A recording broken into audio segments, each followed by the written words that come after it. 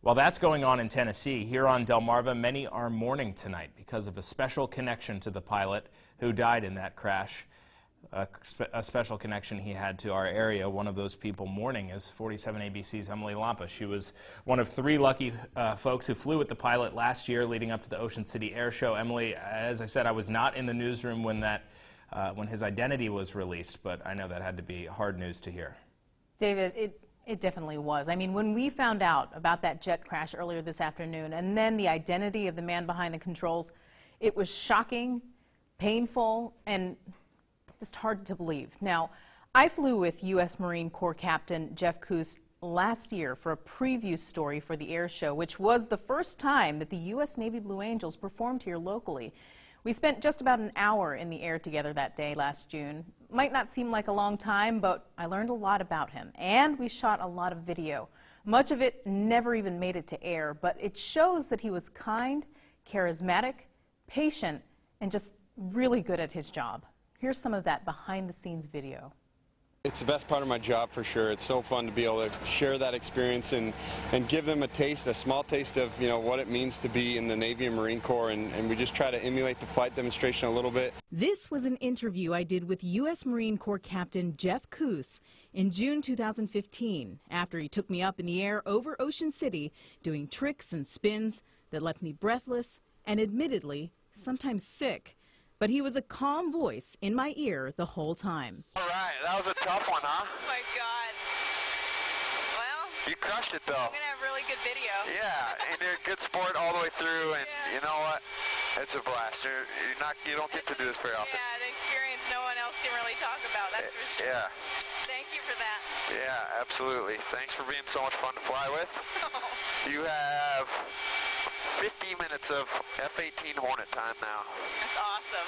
But it was my interview with Captain Kuss in the cockpit before we even got off the ground that day where I found out how funny and down to earth he was, starting with his call sign. What is it? Mine is Cooch. Cooch. Cooch, yep. My last name is Kuss, and so they, just call me, they call me Coochie, Coochie Kuss, and then nice. just Cooch.